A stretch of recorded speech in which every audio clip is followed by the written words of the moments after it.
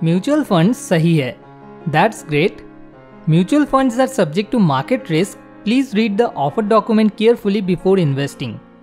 Hey, but you just said mutual funds are right and then you are saying they are risky also? What is this? Then what is the real truth? Are mutual funds truly right for me or not? This is what I am going to share with you in this video. After the recent market crash due to corona pandemic, many of the company's share price has become attractive. So many of us are now confused about whether it is the right time to invest in the share market through mutual funds or not. If you are one of them, then watch today's video till the end. Because from today's video, you will learn what a mutual fund is, how does it work, is it really safe, what are the pros and cons of a mutual fund, and finally, particularly for you, is mutual fund truly right or wrong? In one word, you are going to learn A to Z about mutual funds from this single video. So please watch this video till the end. So first let's talk about how mutual funds work. Suppose the total value of my company is rupees 1000. Now I divided it into 10 parts and listed it in the share market as 1000 divided by 10 equals to rupees 100 per share. So if someone wants to buy the minimum 1 share out of my company's total 10 shares, then he has to buy it with rupees 100. Now suppose you want to buy a share of my company but you have only rupees 10 in your pocket. But you need minimum rupees 100 to buy one share of my company. So due to lack of rupees 90, you cannot buy a share of my company. Now there are 9 more people just like you who also want to buy shares of my company but they also have rupees 10 in their pocket. Now suppose Chalak Chetan is someone who knows all 10 of you. So Chalak Chetan starts a mutual fund and collects rupees 10 from 10 of you and buys one share of my company with rupees 100. And he makes all of you agree with the condition that when any of you will come to withdraw your money, then 1% of that money will be deducted as his salary.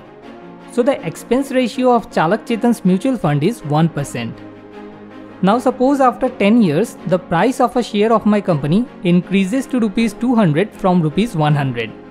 So your rupees 10 will become rupees 20 after 10 years. Now if you want to withdraw your money, then as per the condition, 1% of rupees 20 that is 20 paisa will be deducted from your money as Chalak Chetan's salary and rupees 19.80 will be given back to you. I hope I have made you understand how mutual funds work with the help of this story. Now the next question is, how safe are mutual funds? What is the guarantee that Chalak Chetan will not run away with your hard-earned rupees 10? Now here the thing is that before opening Chalak Chetan's mutual fund, Chalak Chetan have to take license from Securities and Exchange Board of India SEBI and Association of Mutual Funds in India AMFI and these two institute will continuously be monitoring Chalak Chetan also. So in terms of running away with your money, you can rest assured that your money in a mutual fund is as safe as it is in a bank.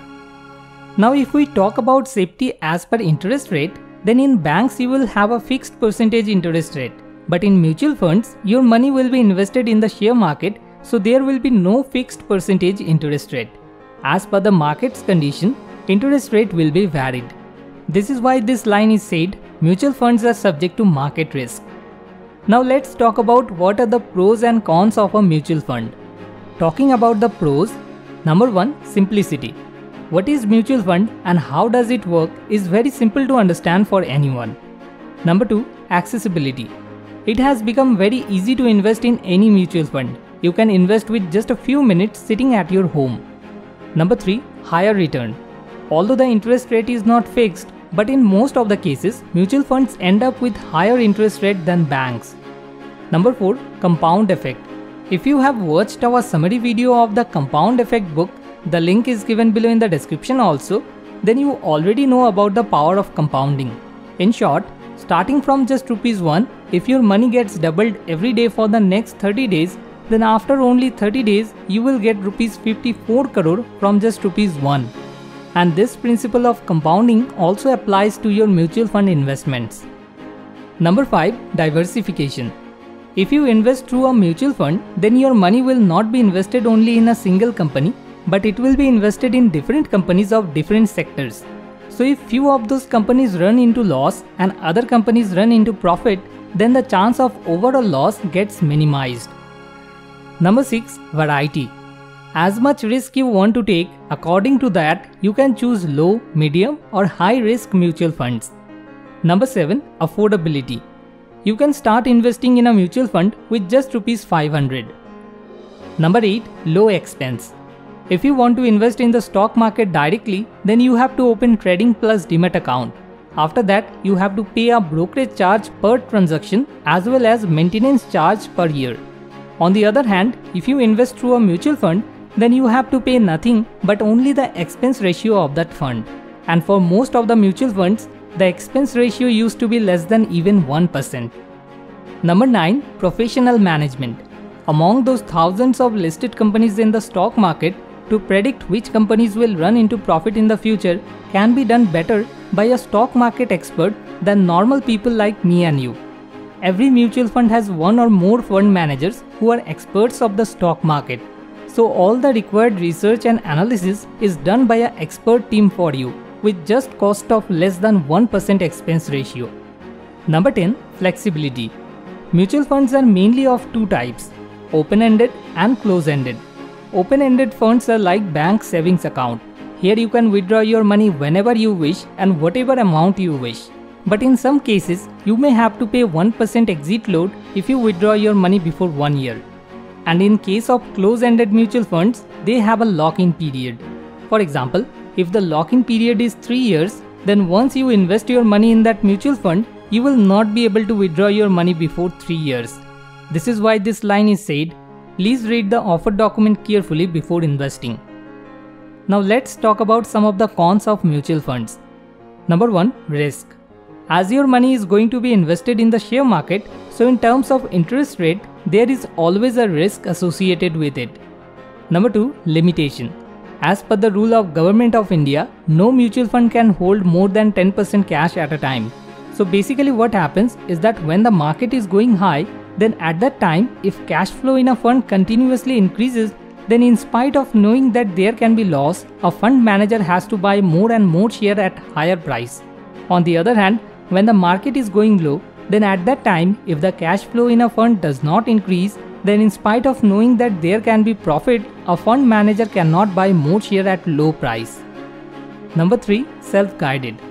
When to enter and when to exit in a mutual fund, these two things you have to decide for yourself. A fund manager cannot guide you in that. Because the fund manager can only buy as per his wish, but he cannot sell unless and until you are asking for your money back. So if the market crashes and still you don't ask for your money back, then the fund manager cannot sell as per his wish to get your money out of the market.